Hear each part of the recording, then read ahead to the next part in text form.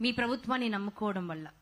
అంటే కొంతమంది గుండెల మీద కూర్చుని పీక మీద కత్తి పెట్టి నువ్వు ఫలానా వారి పేరు చెప్పకపోతే నీ గొంతుక కోస్తాము అని చెప్తే చంద్రబాబు నాయుడు గారి పేరు తీస్తాను కానీ వేరొక పేరు నా నోటి నుంచి రాదు అంటే తెగిపడిన తలలను కూడా మనం ఈ మధ్య చూసాం ఆ సాక్ష్యాలు ఇక్కడే ఉన్నాయి ఒక కుటుంబం కూడా ఉంది.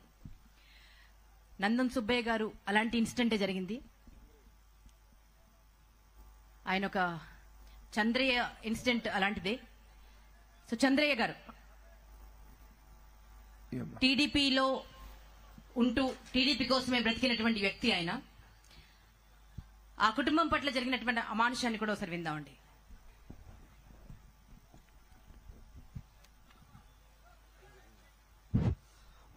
మాది మాచల్ నియోజకవర్గం. మా నాన్నగారు తెలుగుదేశం పార్టీకి క్రియాశీలంగా పనిచేస్తున్నారు. ఒక బీసీ అనే కారణంతోనే మా నాన్నగారిని గొంతుపై కత్తి పెట్టి నువ్వు జై జగన్ను నేను వదిలేస్తా అంటే మా నాన్నగారు జై చంద్రబాబు అని ప్రాణాలు విడిచాడు తప్పితే జై జగన్ అనకుండా జై చంద్రబాబు జై తెలుగుదేశం అని పార్టీ కోసం ప్రాణాలు ఇచ్చిన వ్యక్తి మా నాన్నగారు. తెలుగుదేశం పార్టీ బీసీలకి అధికారం కాదు ఇచ్చింది ఒక ఆత్మగౌరవాన్ని ఇచ్చింది. ఆ ఆత్మగౌరవాన్ని చంపుకోవడానికి మా నాన్నగారు ఈరోజు ప్రాణాలు విడిచాడు తప్పితే తెలుగుదేశం పార్టీని ఎక్కడ వదిలిపెట్టలేదు. ఆ కండువా కప్పుకొని చనిపోయాడు. మా కుటుంబానికి ఈరోజు కూడా లోకేష్ అన్న గారు చంద్రబాబు నాయుడు గారు మా ఇన్ఛార్జ్ జోలగని బ్రహ్మారెడ్డి గారు మా కుటుంబాన్ని ఎంతో అండగా ఉండి ఈరోజు నా చదువుకు కానీ మా సిస్టర్ చదువుకు కానీ అన్ని విధాలుగా మన తెలుగుదేశం పార్టీ అండగా ఉండి మమ్మల్ని చూస్తూ ఉంది. తెలుగుదేశం పార్టీలో పుట్టడం కానీ ఒక పార్టీ కోసం పనిచేయడం అంటే అది ఒక తెలుగుదేశం పార్టీలోనే ఉన్నారు అలాంటి కార్యకర్తలు. మా నాన్నలాంటి కార్యకర్తలు ఎంతోమంది ఉన్నారు మన తెలుగుదేశం పార్టీలో. అలాంటి వారి కార్యకర్తలని నాయకులు సీనియర్ నాయకులు కూడా అందరూ గమనించి వాళ్ళకు గుర్తింపు ఇవ్వాలని ఖచ్చితంగా కోరుతున్నాం సార్. ఇది చాలా దారుణమైన ఘటన. పొద్దున పూట చంద్రయ్య గారు బయటికి వెళ్తుంటే వైకాపా నాయకులు దాడి చేసి కత్తి పెట్టారు. ఒక్కసారి చెప్పు మా నాయకుడి పేరు. ఒక్కసారి చెప్పు మా నాయకుడి పేరు. నేను వదిలేస్తానని చెప్పి. ఆయన అన్నాడు నా ప్రాణం తీసేయండి.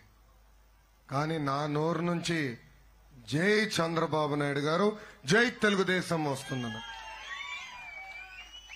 ఇప్పుడు చంపేశారు. నేను అందుకే చెప్తున్నా జగన్ కులం క్యాష్. జగన్ మతం క్యాష్. కానీ నేను ఒకటి మర్చిపోతున్నాను ఆత్మ అభిమానం డబ్బులతో కొనలేరు. అది తెలుగుదేశం పార్టీకి ఉన్న కార్యకర్తలు అది తెలుగుదేశం పార్టీలో ఉన్న బీసీ నాయకత్వం. ఎంత అన్యాయం అండి ఏం తప్పు చేశారని?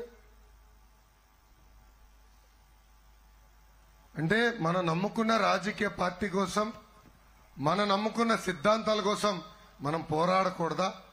మనం మాట్లాడకూడదా? ప్రజలందరూ కూడా ఆలోచించాల? మొదట్లో అరెస్ట్ చేస్తే దాడి చేస్తే ఇది తెలుగుదేశం పార్టీ నాయకులు పర్వాలేదులే అనుకున్నారు. తర్వాత బీసీ సోదరులపైన దాడి చేస్తే బీసీ సోదరులు కదా మనకెందుకులే అనుకున్నారు. దాని తర్వాత దళితుల పైన దాడి చేస్తే ఆ దళితుల సోదరులు మనకెందుకులే అనుకున్నారు. ఇట్లా మైనార్టీ సోదరులపైన దాడి జరిగితే మైనార్టీ సోదరులకు చెందిన విషయం మనకెందుకులే అనుకున్నారు. ఇప్పుడు ఏకంగా ప్రజలపైన దాడి చేస్తున్నారు. ఏకంగా పోలీసులే ఆత్మహత్య చేసుకునే పరిస్థితి ఆంధ్ర రాష్ట్రంలో వచ్చింది. అందుకే ఐదు కోట్ల ఆంధ్రులు నేను కోరుతున్నా. ఎప్పుడు లేని విధంగా ఈ రోజు మీరందరూ భయంలో బతుకుతున్నారు. గతంలో బాబు గారు ముఖ్యమంత్రిగా ఉన్నప్పుడు ఒక విధానం నచ్చపోతే సంఘాలు మాట్లాడేది ఒక పాలసీ సరిగా లేకపోతే రోడెక్కి మాట్లాడే పరిస్థితి. ఇప్పుడు ఏమయ్యారండి? సమాజం మొత్తం ఒక భయంలో బతుకుతుంది. వాట్సాప్లో ఒక ఫార్వర్డ్ పెడితే కేసు. రోడ్ ఎక్కితే ఏకంగా జైలుకు పంపిస్తుంది ఈ ప్రభుత్వం. అందుకే ఐదు కోట్ల ఆంధ్రుల్లో చైతన్యం రావాలి. అందుకే మేము చెప్పాం సైకో పోవాలి సైకిల్ రావాలి. ఇంకెన్ని ఉదాహరణలు కావాలండి? ఈ ముఖ్యమంత్రి సైకో అనేదానికి. ఇలా ఎంతమంది అక్క చెల్లెల్ని అన్న తమ్ముడిని తండ్రుల్ని చంపుతారు. నేను ఒకటే చెప్తున్నా వైకాపా నాయకులు వడ్డీతో సహా ఈ లోకేష్ చెల్లిస్తాడు. నేను ఎవ్వరిని వదిలిపెట్టను.